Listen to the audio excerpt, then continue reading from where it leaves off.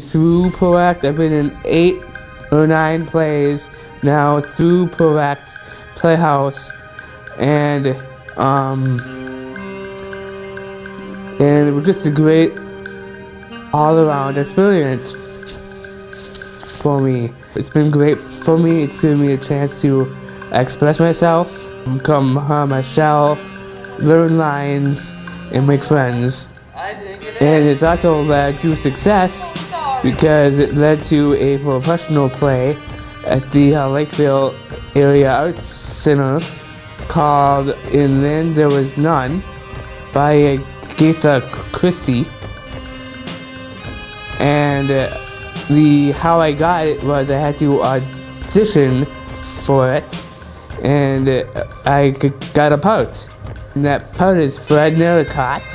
It actually comes like natural for me. I just work lines till sun up to like sundown every day to get them like in my head and learn them.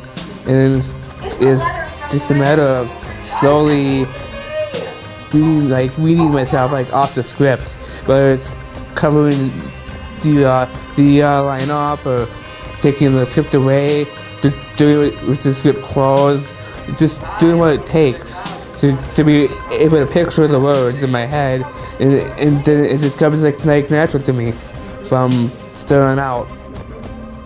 Yeah, it's gonna be different, but you know I think it's well worth it. I just play a bunch of roles and I just love it.